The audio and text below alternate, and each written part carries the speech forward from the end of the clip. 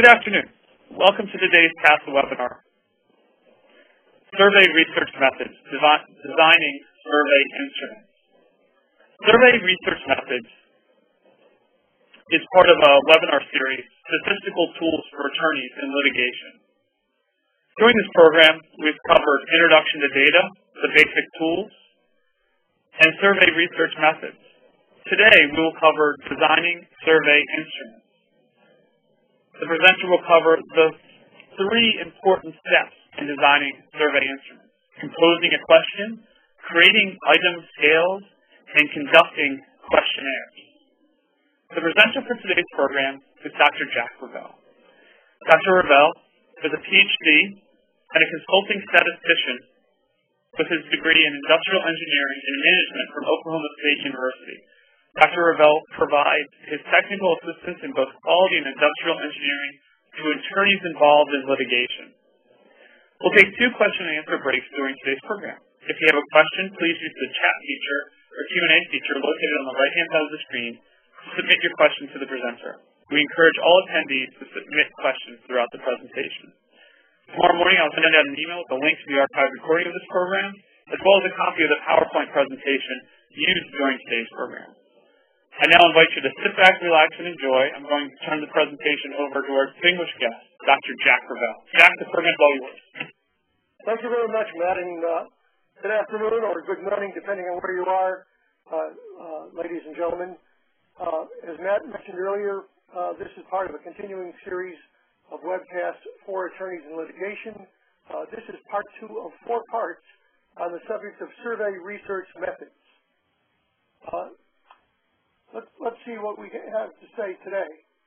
Well, this is a, a little background on myself if you're interested.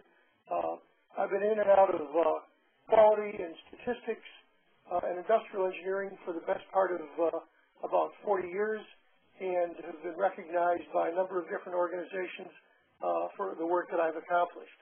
And today, uh, as I mentioned just a moment ago, we're going to be into part three of this series of webcasts for TASA and TASA's uh, clients, this one on survey research methods. Last time we did a presentation, it was on phase one of research, survey research methods, and those are the ones in red. Uh, we talked about initiating a survey planning a project, and designing a sample. Today, as Matt mentioned just a moment ago, we are in phase two. We'll be talking about uh, section four on composing a question, number five, creating item scales, and number six, constructing questionnaires.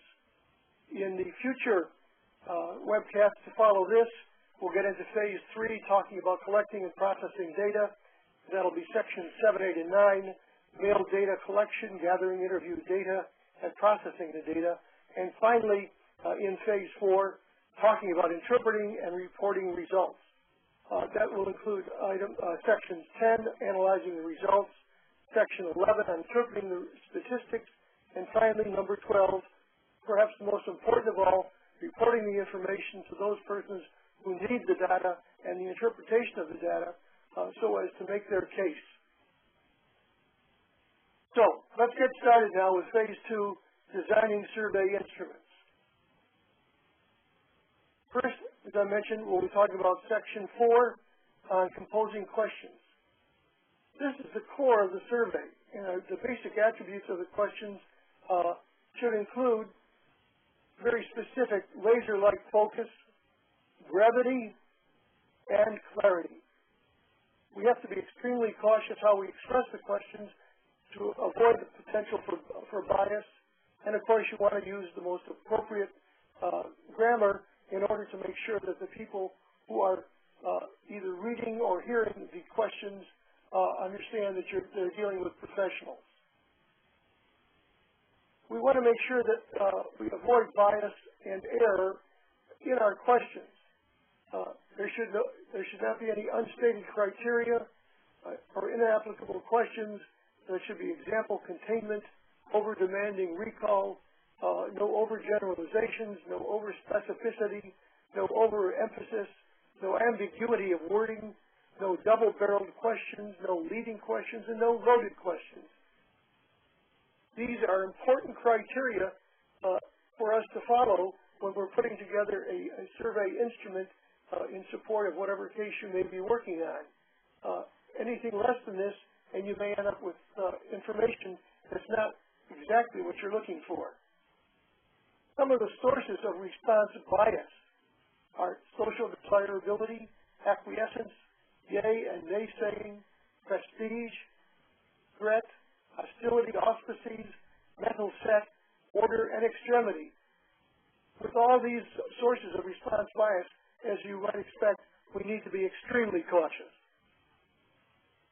We also have to be concerned about the question format, uh, the dimension of the answers, uh, the comparability of data, recording accuracy, response task, and inappropriate reasons. Now, here's an example of some questions. Uh, at the top of the slide are what we call an unstructured item, and at the bottom, a structured item. In the unstructured item, the question is, why did you leave, or excuse me, why did you visit this store? And you get a choice. You could say, uh, you might check all seven of them, or just one, or, or two or three. Uh, that's unstructured, open-ended, if you will. As opposed to the structured item at the bottom of the page, which says, what's the one major reason you visited this store? And there are seven different ones, and you can specify uh, whether it's the price of the goods or the selection of the merchandise. Uh, these are the ones that you, you see very uh, very often if you've gone to a restaurant and they, they give you a, uh, a, a an opportunity to um, dial in or to uh, uh, use your computer to respond to their questions relative to uh, the, the, quality of the food or the service uh, that you received uh, when you uh, attended a, a, restaurant recently. Now, another way you can do this is to do an advanced structured item, and that is to have those same seven and prioritize them. So, for example, if the price of the goods was the major reason, you'd give that a number one. If selection of merchandise was second most important, you'd give that a number two. And many, many uh, restaurants that uh, I've, I've seen their uh, questionnaires that they, they provide uh, for survey response uh, to their, uh, their customers have used that particular approach. Now, let's talk about composing questions, specifically, what are the things that we need to keep clear in our minds. First, focus very precisely. Keep each item brief. Strive for clarity. Use a core vocabulary. Use simple sentences. Avoid specific sources of bias or error. Use structured questions. Classify your answers carefully. Choose appropriate categories. And use scaling effectively. Now let's let's give a kind of a, a, brief discussion for each one of these regarding focus very precisely. Every item should zero in and very very directly on one specific issue or topic. Keep items brief. The longer the question, the greater the response task and the more error and bias potential. Strive for clarity. Every respondent must know exactly what's being asked. Use core vocabulary. Use the same words as the least sophisticated respondents would use in common speech. So you have to know who your audience is. You know, are you going to be writing at a seventh grade level? Uh, are you going to be writing at a high school level? Are you writing at a college level? It depends on who you're uh, expecting to have answer your your questions. Use simple sentences. Two or more simple sentences are far preferable to one compound sentence. Avoid specific sources of bias or error. Be sure your items are free from the factors that create bias and error. Use structured questions. Unstructured items ordinarily provide large quantities of poor quality data. Classify your answers carefully. Observe the three rules for an effective classification system. Those three rules, first, a list must be all-inclusive, meaning it should include every possible response. The second rule, Categories must be mutually exclusive, meaning that if, if you pick one, it can't be the other. Uh, a number can't be odd and even, for example. They must be mutually exclusive. And the third of the three rules is there should be more variance in the meaning between categories than within them. Next, choose appropriate categories. Be certain they're neither too broad nor too narrow, nor too many nor too few. And finally, use scaling effectively. Section 5, which follows, offers guidance on numeric and verbal scales to combine and combining survey items into groups. So let us move on then to section five on creating item scales. We need to concern ourselves with why scales are used, the use of multiple choice questions, conventional scale types, scale combinations, nonverbal scales, and scale selection criteria. Now, in a, in a brief one-hour uh, webcast like this, uh, there's no way we can cover all of these, but I will cover some highlights. For example, uh, let's talk about the paired comparison scale. Uh, paired comparisons are used extensively in all kinds of work. For example, uh, here we're looking at a, for each pair of soft drinks listed below, uh, please put a check mark by the one you, you most prefer if you had to choose between the two. And there's uh, Pepsi-Cola versus Coca-Cola, Royal Crown versus Pepsi, Royal Crown versus Light, Royal Crown versus Coca-Cola, Coca-Cola versus Light, Light Cola versus Pepsi. In each case, you're picking the, the one that you prefer of the two. And we can use very simple mathematics then uh, that helps us to uh, determine which has the, the greater preference. That's just a, a very simple example of a paired comparison scale. Now let's look at the semantic differential scale. Now, we have on the left one uh, limit, and on the right a different limit, hot versus cold, bland versus spicy, expensive versus inexpensive.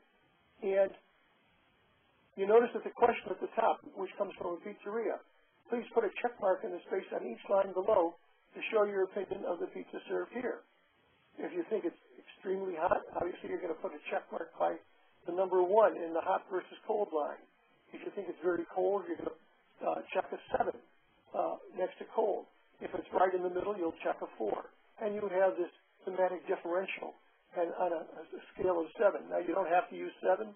Uh, you could use uh, five. You could use three. It depends on uh, how specific or how precise you want to be in this semantic differential scale. Now let's talk about another semantic scale, this one, the semantic distance scale.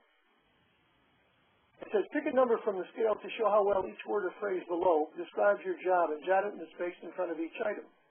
So that's pretty easy. Uh, no pun intended there with the, uh, the first word being easy.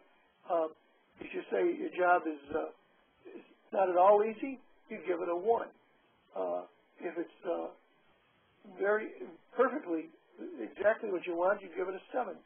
And you go through and you're going to be doing this. This is almost like a paired comparison, but in a more disguised way.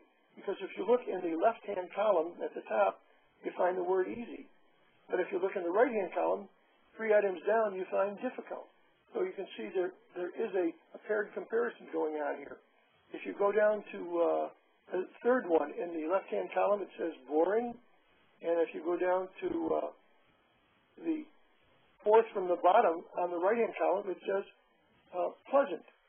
And for example, over in the uh, left-hand column, you see the fifth one down is low paying, and the fourth one down in the right-hand column is rewarding.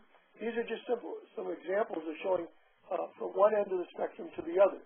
But in this particular one, the semantic distance scale, all we're trying to do uh, is to get a better idea of how people feel about, the, in this case, their job, and jot it in the, uh, the uh, space in front of each item. And let's see, that takes care of the semantic distance scale. Let's talk about creating item scales. First of all, we want to keep it simple. You know, we're not working with uh, uh, PhD mathematicians, statisticians. We want to respect the respondent you, you want a dimension or size the response. Pick the denominations, whether you're going to be dealing with 1 through 7, 1 through 5, one through three, whatever it may be, and I always advocate using an odd number because it, at least gives the, the respondent the opportunity to select something in the middle as opposed to using even numbers which forces them to be on one side or the other of the middle. Choose the range. Group only when required. Handle neutrality carefully. State instructions clearly. Always be flexible. And pilot test the scale. Now let's go through those in some great detail and then we'll take our break. First, keep it simple. Given a choice between a very short, concise scale and a more elaborate, sophisticated one, the less complex scale should be used. Even after identifying a scale to be used for an item, ask, is there an easier, simpler way, simpler scale or way of asking this question? Respect the respondent. While the respondents are ordinarily cooperative and helpful, response is a favor. They have little involvement with the task. Select scales that will make it as quick and easy as possible for them. That will reduce the non-response bias and improve accuracy. Dimension the response. In what dimensions do respondents and sponsors think about the issue? They'll not always be the same, so some commonality must be discovered. The dimensions along which the respondents are to answer must not be obscure or difficult, and they should parallel respondents' thinking. Pick the denominations. Always use the denominations that are best for respondents. The data can later be converted to the denominations sought by information seekers. Feet and inches can be changed to metric or time covered to a 24-hour clock during processing. Next, choose the range. Categories or scale increments should be about the same breadth as those ordinarily used by respondents. Normally, respondents classify things into a range from about two to about seven or eight categories, and seldom more than ten. Respondents often can't be as precise as researchers would like. Group, only when required. Never put things into categories when they can easily be expressed in numeric terms. People think in years, not decades or centuries. Data can always be grouped during processing, but if obtained in broad categories, it can't be desegregated later, no, no matter how desirable that may be. Next, handle neutrality carefully. If respondents genuinely have no preference, they'll resent the forced choice inherent in a scale with an even number of alternatives, which I mentioned earlier. If feelings aren't especially strong, an odd number of, of scale points may result in fence riding or piling on the midpoint, even when some preference exists. Next, state instructions carefully. Even the least capable respondents must be capable, excuse me, must be able to understand. Use language that's typical of the respondents. Explain exactly what the respondent should do and the task sequence they should follow. List the criteria by which they should judge and use an example or practice item if there's any doubt. Always be flexible. Scaling examples provided here are only that. They can, they can and should be modified to fit the task and the respondents. The instructions, format, vocabulary, and number of scale points can be changed to, to suit the needs of the survey. Scales should fit the task, not conform to the original author's specifications. And finally, pilot test the scale. When there's any doubt about the ability of the respondents to use the scales, a brief in informal pilot test is a quick, inexpensive insurance. Don't wait until the entire questionnaire is written. Individual parcels can be checked with a few typical respondents. Well, that's talks about creating item scales let's take our, uh, our mid uh, webcast break, and I'll, I'll take any questions that Matt uh, might uh, receive from, from you folks that are uh, listening and watching. And when we're through with the break, we'll move on to uh, the final section, six, on constructing questionnaires. Matt, I'll turn it over to you. Okay, great. Thank you so much, Jack. And uh, if anybody in the audience has a question for Jack, please use the chat or Q&A feature found on the right-hand side of the screen um, to submit your questions. Um, Jack, in this last item, you, touched on kind of uh, the best practices. Um, have you seen, and I'm sure you have, instances where these best practices have not been followed? And um, what's the result of not following these best practices? Well, probably the best example I can give you is when somebody thinks, someone who has never done a questionnaire before and thinks it's a very simple, straightforward thing to do, does it on their own, and sends it out and gets answers, and then contacts a statistician like myself and says, would you please interpret this for me? And because the questions were either biased or ambiguous, uh, or because they were too, the questions were too complex as opposed to being simple, or because they were too broad and, and general rather than being very specific and, and laser-like, uh, you end up with information that the, the statistician, no matter how good he or she may be, uh, can't do anything with. You can't turn uh, garbage into, into something that smells good uh, just because you've got somebody uh, that's worked with garbage before.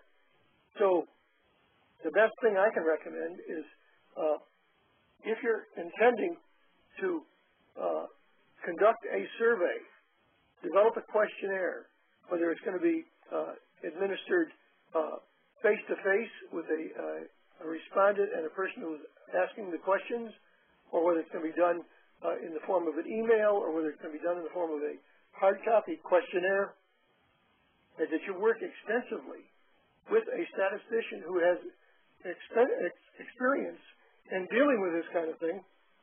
And then, before you do anything, because even a statistician who's experienced can make a mistake, uh, administer it, as I, as I mentioned before, to pilot test the, the scales and the questions so as to make sure that the questions are understandable, uh, that the responses that you're looking for make sense and that you're going to be able to put the data to use and interpret it in such a way uh, that you're going to be able to make your case. Okay, great. We have a question here from Steve who asks, um, he's a member of a state bar House of Delegates, and he would like to send a survey about how the membership in his region views process, so evaluating a process. Are there any uh, best practices or references that you can provide to Steve um, in preparation to formulate this, this survey or questionnaire? Yeah, I, I would suggest uh, that uh, first thing you do is he uh, talk to some of his colleagues and get some of their ideas and what they think uh, the problems are, and they could use that as a kind of a pilot questionnaire, just like you sometimes have a pilot parachute to pull out the main parachute. I would suggest using a, a pilot questionnaire uh, and, and find out what are the things that they think should be asked about to develop a list of topics that should be included and then then develop the full the full blown questionnaire rather than just try and have one or two people do it all by themselves. And then uh, when the results come back, uh, one of the best things you, one of the best things you can do is be, uh, as you send out the original questionnaire is indicate that only those persons who respond to the questionnaire will get the results. And then when the results are, are completed and interpreted, uh, each of the persons who were generous enough of their time and their effort uh, to respond to the questionnaire will receive a copy of uh, the, uh, the final interpretation both by uh, uh, Steve and, and the, the statistician that he's working with. Okay, great. I don't see any other questions in the queue, so why don't we continue on with the presentation of content, Jack? Okay, and by the, by the way, uh, I, am going to suggest, I don't know if you can do this or not, uh, to be honest, Matt, uh, you might want to give uh, Steve my uh, email address, and uh, have, if you have him email me, I'd be happy to discuss this with him either on an, e in an email or uh, by phone, either way. Oh, definitely. I will. Uh, I will definitely send uh, Steve your contact information. And Steve, I know you're listening because you just acknowledged it. I will send out uh, Dr. ReVelle's uh, email information um, after this program's over. Okay. And, and by the way, I noticed that uh, Steve is in Oregon, and he may or may not be aware of the fact uh, that I live just a bit south of him uh, in California. I live uh, in Orange, California. So uh, the uh, there's not any uh, time zone differential he'd have to be concerned with. All right, excellent. Yeah, I'll make that connection. Um, like I said, after the program's over, definitely look for an email from me and Steve and Jack. Okay? Ready to go now? Yes, please, please uh, continue on with the presentation and content. Okay. Now we go to section six, the third and final section uh, of this uh, second in a series of four presentations on survey research methods. First, we'll talk about the construction of questionnaires, uh, specifically the function of the questionnaire, to what purpose. For example, using Steve's uh, example, uh, we, I'm sure he's concerned about making sure that they are focusing on the, the right items or concerns of the members of the bar in Oregon. Then we'll want to talk about creating sec questionnaire sections. You know, you're going to have an introductory section, a general section, uh, and then there'll be some specific sections, a section one on, on topic X, a section two on topic Y, a section three on, on topic Z, et cetera, and a final conclusion. Some of the questions uh, may be open-ended, uh, and some may be closed-ended, some may be differentials, uh, uh, paired comparisons of the type that we talked about. Then you want to talk about directing response flow, uh, concluding the questionnaire, and pre-testing the questionnaire. Pre-testing questionnaires is something that a lot of people don't think about, but it's a it's a great move.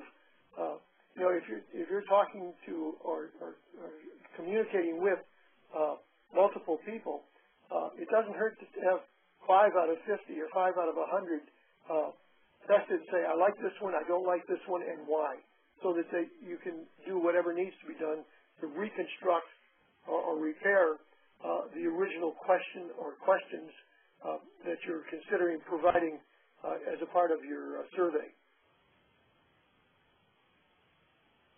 Now let's talk about the topic summary for constructing the questionnaires. As you can see, there's a, quite a few of them. Uh, let's talk about each one in order. First, we'll talk about emphasizing the introduction. Most refusals to respond will come immediately. And once respondents begin, they seldom terminate prematurely. Unless, and I will add this, unless the questioner has become so long, so tedious, and so repetitive that they say, I'm just tired of this, and they'll cut it off right in the middle.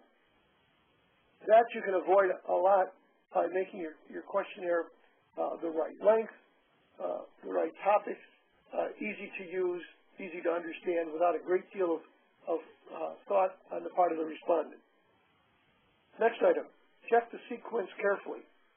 Simple, interesting, informative items should come first and sensitive or threatening items as late as possible. You don't start out with a biggie and, and throw a punch in the, in the person's face. Next, group items into sections. Combined items that use the same scales or put the same topics into sections to facilitate response and simplify the task. Next, limit and control branching.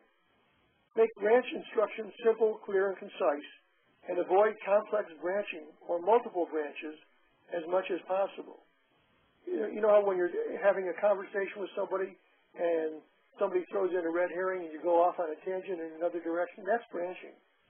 And it makes it difficult, very difficult, uh, to come back to the original topic without losing the thread of uh, what a person is thinking about.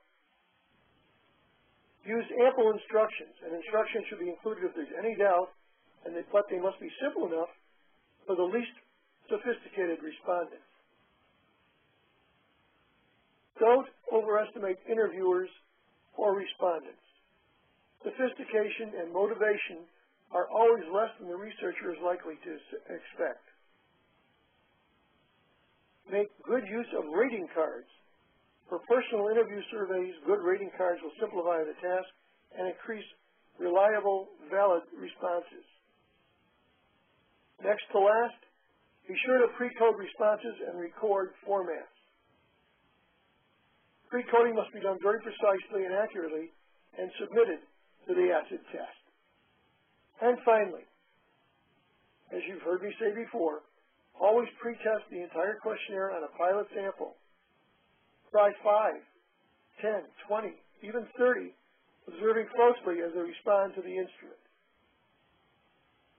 When you use these uh, responses on the pretest, I can virtually guarantee your questionnaire will be far better received and responded to than if you don't. Now let's come up with some examples uh, for here this phase two that we're in. For section four, where we talked about uh, composing questions, the attorney and the SME, that is the subject matter expert statistician, team up to develop survey questions. For section five, where we're talking about creating item scales, the attorney and the SME statistician team up to select response scales. And finally, in section six on constructing questionnaires, the attorney and the SME statistician team up to finalize the questionnaire. So as you can see, this is a shoulder-to-shoulder uh, working together. The statistician doesn't go off to his or her uh, cave and put this whole thing together. It's a lot of iterations, a lot of back and forth, it's like playing catch. Uh, how about if I say this? What if you say that? Back and forth. And the time that you invest up front to develop the very best possible questionnaire you can will pay dividends in the accuracy and the quality of the responses that you receive in an effort uh, to come up with a, the conclusions that you're looking for so you know what action or actions to take.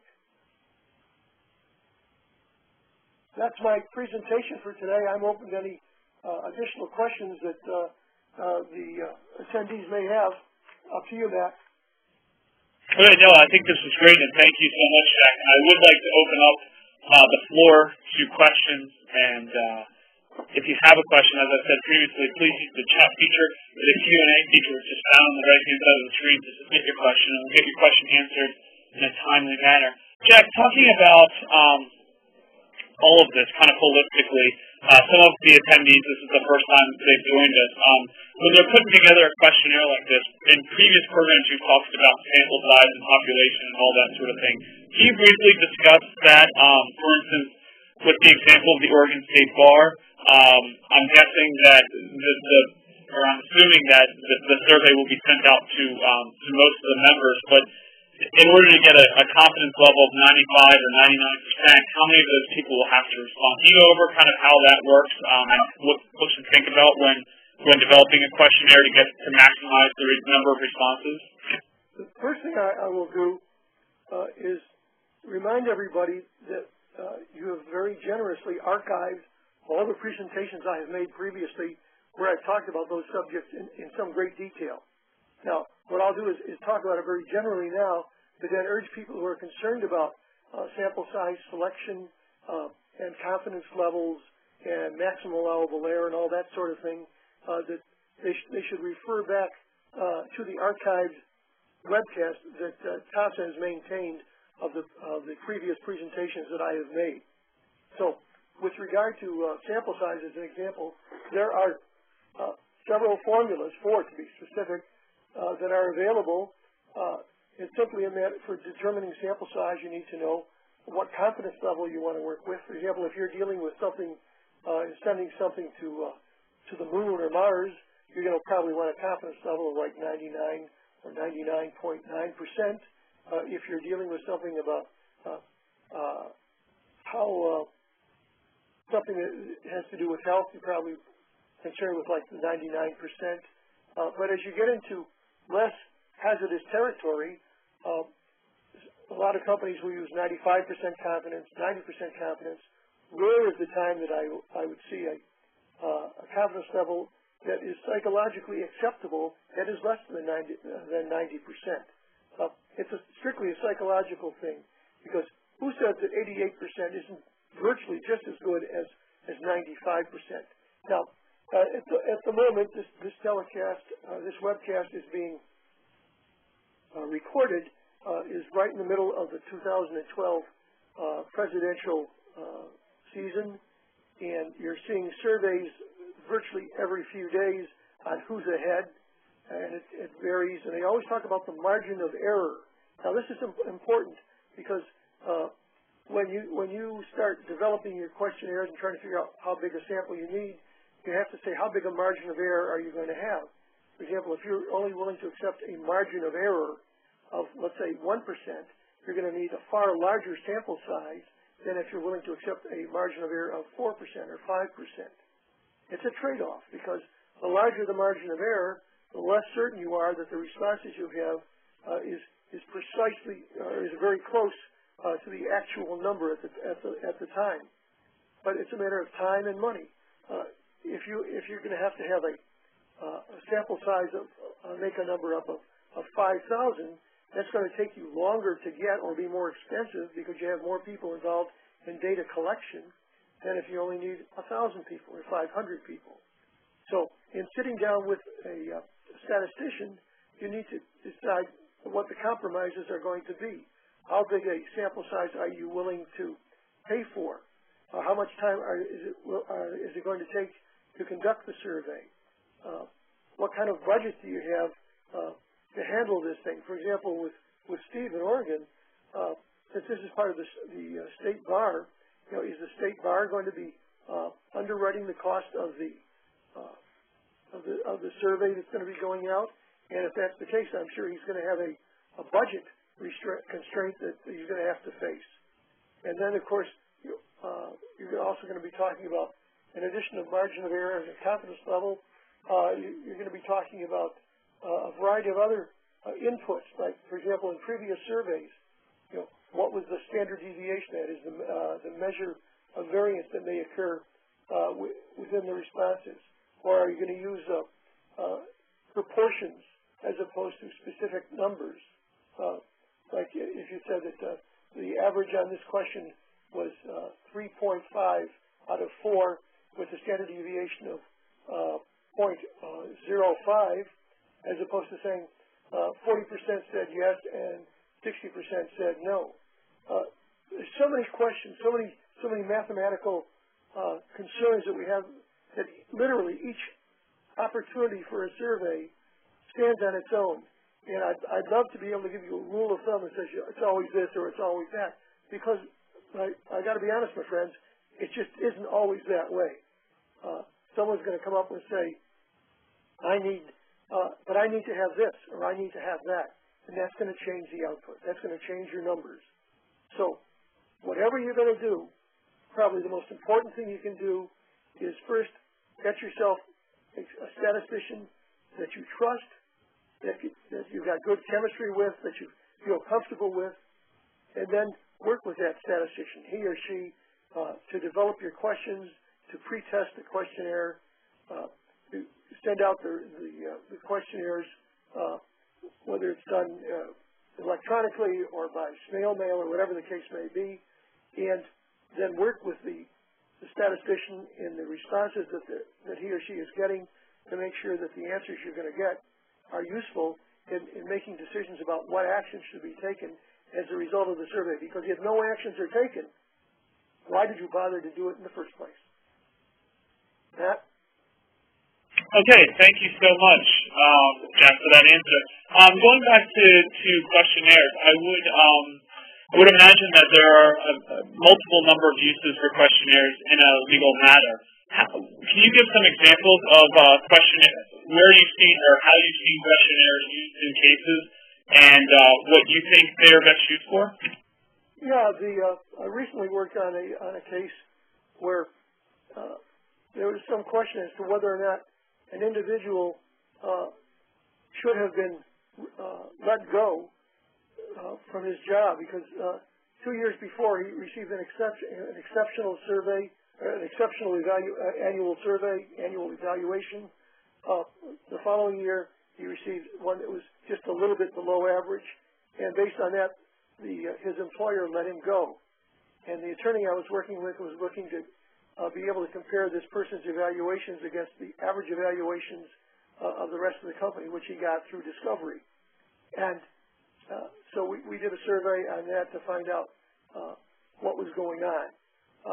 I've had other other surveys uh, that I've had to do where people were uh, a particular person uh, complained that there was a uh, sexual harassment in the workplace, and so what we had to, what we had to do is develop a survey about that subject, and then uh, take that information and see if this person uh, that sensed great deal of sexual harassment in the workplace uh, was was on the money, or if in fact that, that uh, we found uh, that this person was overly sensitive and that there was absolutely no evidence of uh, uh, of this kind of uh, atmosphere or culture in the company. Anytime there's a value that you want to question and you want to compare it to some other database, survey is probably the best way to do it, especially if, if you want current valid data. Something that happened five years ago is not necessarily indicative uh, of today's culture uh, or today's uh, uh, the kind of thing that goes on today.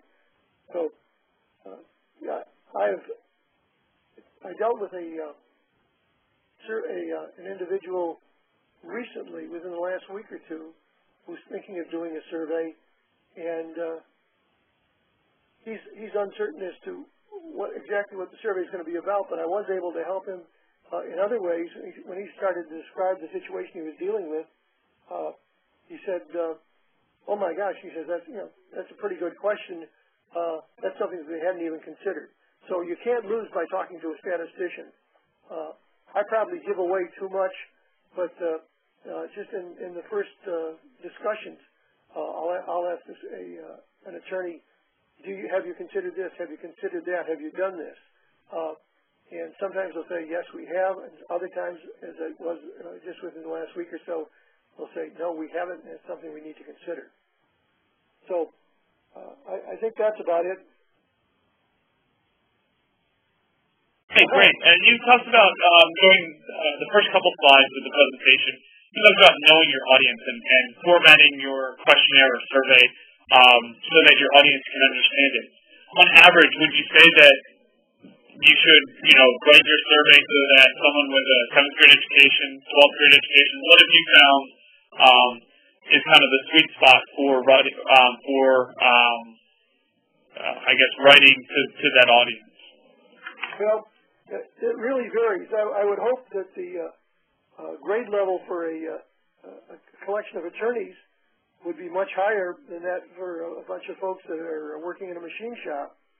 Uh, first of all, because the average level of education for attorneys is much higher than it is for folks in a machine shop. I'm not talking about IQ, I'm talking about the amount of education they've received. Uh, I guess geez, you know, I, I'm not, I'm not sure that I can give you a really good answer on that, Matt. Uh, there is a thing called a, I'm trying to, I'm trying to think what it's called, uh, where you can do a, I, I've, lost it, it's not, it's not on the tip of my tongue, but there are ways of determining what grade level uh, a particular uh, uh, content, a paragraph or a page or whatever it might be, is being written at. Uh, I'd have to, do a uh,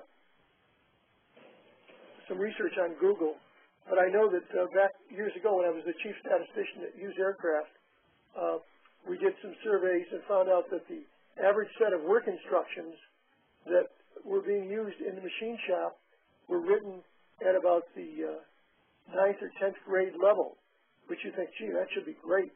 Except that when they did a test of the individuals who were working in the machine shop, they were reading at about a fifth or sixth grade level. That differential between the grade levels, between what was written and their ability to, uh, to comprehend, made for a lot of defects in the products that were being produced. Oh, definitely. And we have a, com- a comment here from Steve in Mount Oregon who says that the average juror in the U.S. has, has a seventh grade education.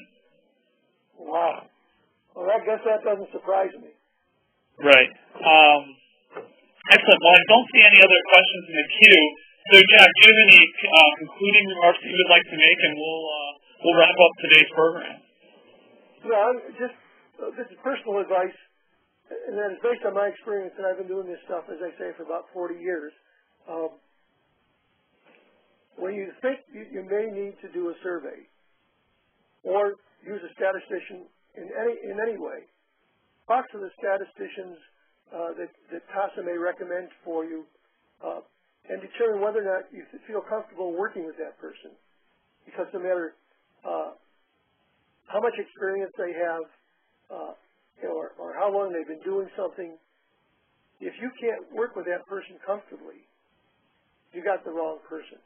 Uh, I won't say it's like getting married, but the fact is that you're going to be working very closely with this person uh, for an abbreviated uh, uh, time, all the way from the development of a, uh, a, survey or some sort of statistical test, all the way to uh, uh, going to going to court and and taking that person's testimony.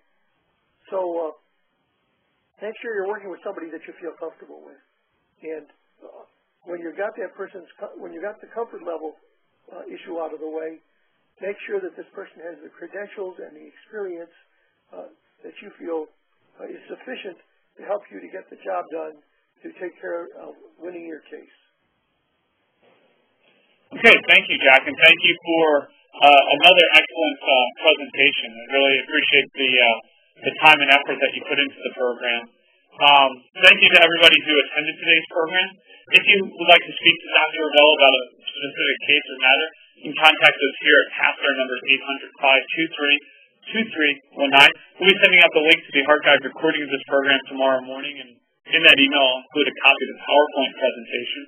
Our next webinar for legal professionals applying human factors to liability cases will take place on September 26, 2012 at 2 p.m. Eastern Time. And finally, if you have any follow-up questions or comments on how we can improve the program, uh, we do take all of your comments under consideration. They help us to produce better programs uh, please send me an email to mhive at tasanet.com, and we will uh, we will get you or we will take your information and we will definitely take it under consideration. Uh, with that, I'm going to end today's program, and I look forward to seeing you at future TASA events.